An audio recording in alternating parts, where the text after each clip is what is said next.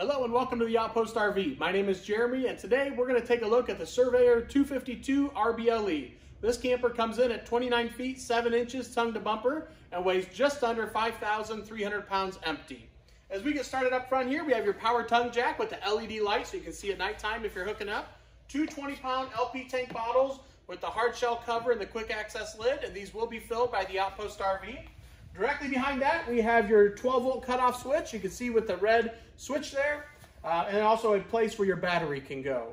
Diamond plate rock guard with the curved radius front end. We also have the windshield up front here. With the Surveyors, it does have a laminated sidewall and floor, and it is aluminum framed all the way around. Rafters, uh, floor, and sidewalls. We have the magnetic door catch here, so you can lift the baggage door open, stays open. Lots of storage up front uh, bright LED light in the storage compartment and also an adapter for your jacks. We have four manual jacks, two in the front, two in the back. That adapter will allow you to use your power or a screw gun and run those up and down. We have a large 20 foot power awning with the LED light underneath it. Each arm is adjustable. You simply pull down in the middle here and that will adjust the pitch of the awning and you can adjust it as needed. We have your window up here. Also to mention with the Surveyor product, around every opening it is framed. So we'll have aluminum framing, framing around the windows, doors, and baggage doors as well.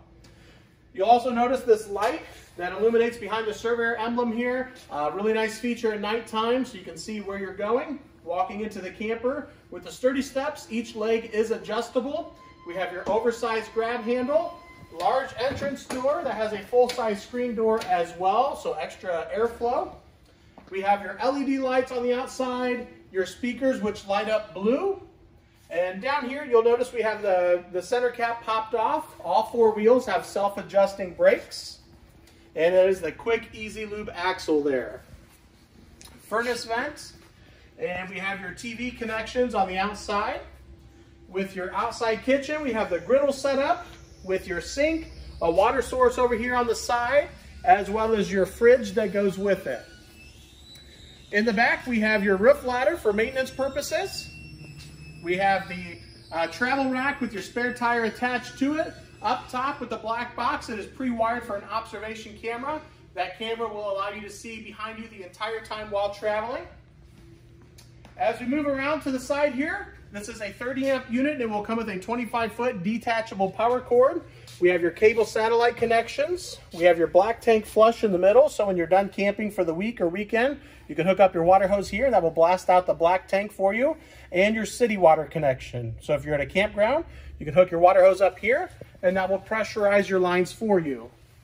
As we move in front of the slide room, up front here, we have your fresh water connection. So if you're gonna be dry camping or boondocking, you can fill up your fresh water tank, turn on your water pump inside and use that water. We have your gas electric water heater, the six gallon DSI, which stands for direct spark ignition. So it will ignite itself. You can get up to 10 gallons of hot water if you're running it gas or electric, and up to 16 gallons if you run gas and electric both together. And last but not least, we have the other side of your outside storage over here. That concludes our walkthrough on the Surveyor, our outside walkthrough on the Surveyor 252 RBLE, and now we'll head to the inside. As we move to the inside, you'll notice we have the bedroom over here on the right-hand side with the slider door to close that off. Get a nice overview of the camper here. We got your slide room, entertainment center, bathroom in the back, large pantry there, and the kitchen area. Right inside here, at the bottom, we have your solar controller. So it does come with an 80 watt solar panel on the roof, and that is your um, controller for that. Up above that, we have your lights, awning, and slide room switches there. As we move over into the kitchen, we have some nice cabinets up top that have that glass front, give it a nice home feeling. Large kitchen window. We have the high-rise faucet, and a large single bowl sink as well. It does come with these covers, so you can use that as prep space if you're not using the sink. Storage down below, we have this bottle opener that has the Surveyor emblem on it as well. Nice feature there. Some storage drawers over here on the right-hand side. With the oven, we have the furnace down below, oven, three burner stove, It also has the prep space cover, so you can flip this uh, space back if you wanted to cook. We have your knife holders on the right-hand side.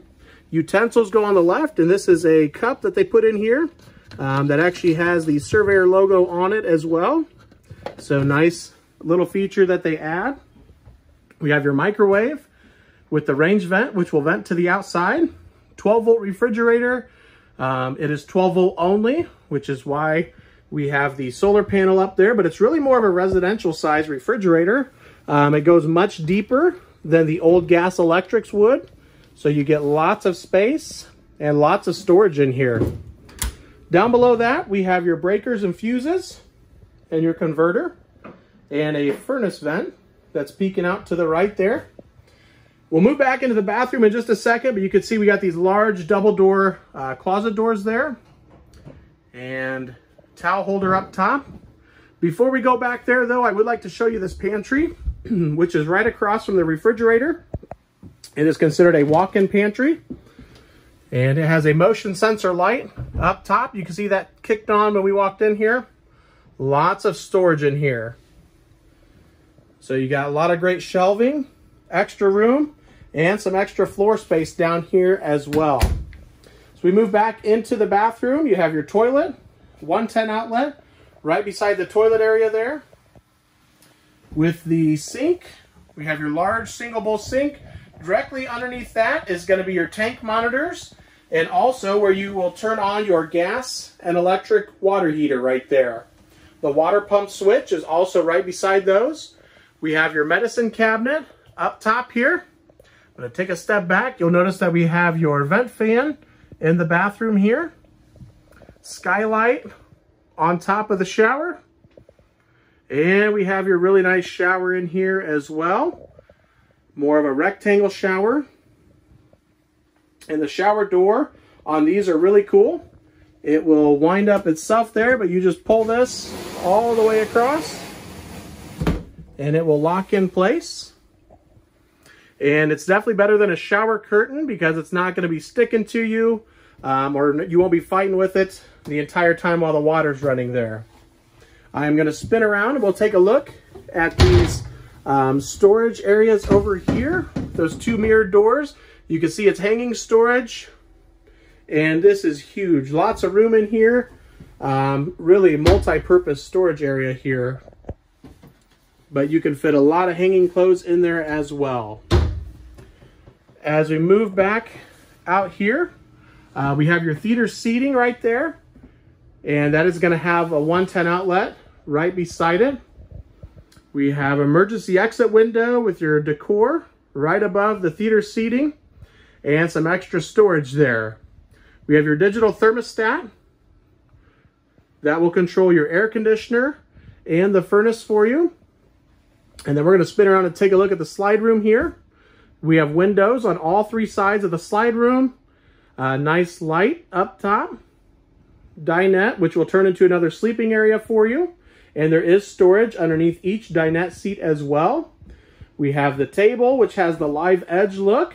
Again, really nice look to it. Entertainment center. We have your TV that comes with it. Stereo, which is AM, FM, and Bluetooth compatible as well, so you can play music from your phone. And storage down below.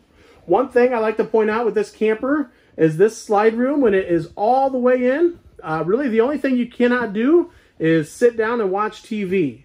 But you can get to the bedroom comfortably, you can get to the bathroom comfortably, um, as well as the pantry, kitchen, refrigerator. So really great for traveling as you can really get to everything that you need if you're traveling down the road.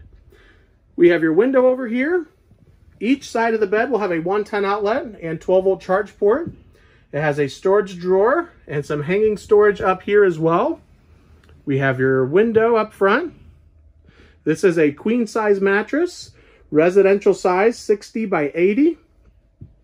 And behind each side, there's a little cubby hole with a cup holder and an extra 110 outlet underneath there. We do have a vent up top for extra airflow in the bedroom. Storage up top that has the cargo net, so you can use that while traveling down the road.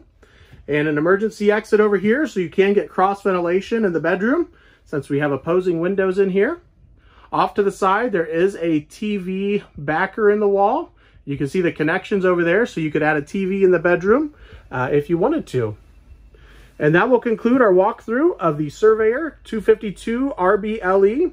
I appreciate you guys watching. If you have any questions, feel free to contact myself or Henry at 866 338 9845. Thank you all for watching and have a good day.